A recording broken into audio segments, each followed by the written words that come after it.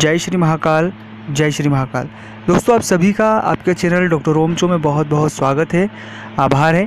यदि आपने हमारे इस चैनल को अब तक सब्सक्राइब नहीं किया है तो प्लीज़ दोस्तों, आप इस चैनल को सब्सक्राइब करें, हमसे जुड़ सकते हैं और निशुल्क ज्योतिष परामर्श आसानी से इस चैनल के माध्यम से पा सकते हैं।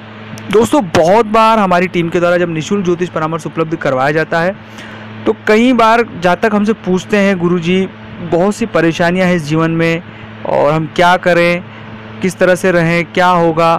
तो पूरी टीम जो हमारी यूनिट है, वो पूरी परेशान होती है कि बहुत सा लोग नरा, निराश होते हैं, हताश होते हैं जीवन में।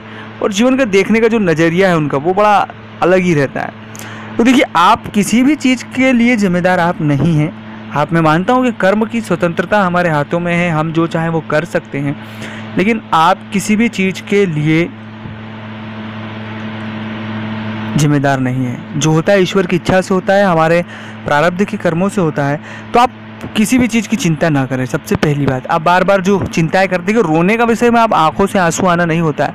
रोने का विषय है कि मन का बहुत ज़्यादा उदास होना, हताश होना, निराश होना और जीवन में केवल नेगेटिविटी देखना, केवल नकारात्मकता ही देखना।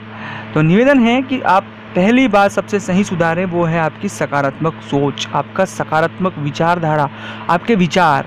क्योंकि विचार एक ऐसे शक्ति है, सामर्थ्य है जो हमें वो सब कुछ प्रदान करती है, जो शायद हम कल्पना भी नहीं कर सकते। तो विचार बहुत ही अच्छे होना चाहिए, कभी भी नेगेटिव विचारों को मन में नहीं आने देना चाहिए। ठीक है दोस्तों, दूसरी बात है कर्क राशि के जातकों के लिए, वो है तुलना। लोगों से जो आप तुलना करा करते हैं छोटी बड़ी बातों के लिए, वो करना बंद कर दें। जितनी ज़्यादा तुलना करेंगे, उतना आपके लिए बहुत ज़्यादा तकलीफ़ दे रहेगा। तो तुलना करना बंद ही कर दे तीसरा पॉइंट है विश्वास, ईश्वर पर विश्वास। किसी और पर विश्वास देखिए, घात हो सकता है, लेकिन ईश्वर पर अगर आपका विश्वास है ना, कभी आपका विश्वासघात नहीं होगा। तो ईश्वर पर पूर्ण यकीन रखें, ईश्वर पर पूरा भरोसा रखें तो आपके लिए बहुत ही अच्छा रहेगा। और अच्छा रहने के साथ साथ ही ईश्वर की कृपा के बिना मुझे नहीं लगता कि यहाँ पर कुछ संभव है। तो ईश्वर की कृपा महसूस करें और ईश्वर से केवल कृपा मांगे। इसके अलावा हमें और कुछ मांगने की आवश्यकता कहीं भी नहीं है। ठीक है दोस्तों? यह तो गई आपकी बात जो मेन सामान्यतः बात थी, लेकिन अब मैं बात करना चाहता हूँ कि वो लोग जो बेफिजुल के झगड़ों में फंस चुके होंगे या बेफिजुल की बेफिजुल के विवादों में फंस चुके होंगे, जिन्हें आमतौर पर धोखा मिला करता है।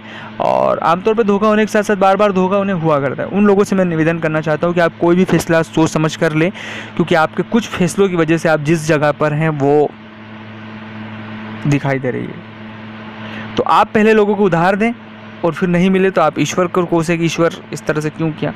तो मैं कहना चाहता हूँ कि आप जो, जिन लोगों का को कोई साथ नहीं देता, उनके पीछे सबसे बड़ा रीज़न है हमारे गलत फैसले। तो कर्क राशि के जातक, रोने वालों का कोई साथ नहीं देता है और हारने वालों का भी कोई साथ नहीं देता है। हारना और रोने का यहाँ सीधा संपर्क में उन लोगों की बात कर रहा हूँ जो लोग छल है, जिनके मन में कपट है, जो लोगों को धोखा दिया करते हैं तो उन लोगों का कोई साथ नहीं देता और उनका ईश्वर न्याय करता है। तो अगर आपके साथ कोई धोखा भी करता है तो कहीं घबराने की बात मत रखना दोस्तों, वो मत सोचना कि ईश्वर आपके साथ है, हमेशा आपका अच्छा होगा। वीडियो अच्छा लगा हो, लाइक करें, चैनल को सब्सक्राइब करें। कमेंट्स में जय श्री महाकाल लिखें, जय श्री महाकाल, जय श्री महाकाल।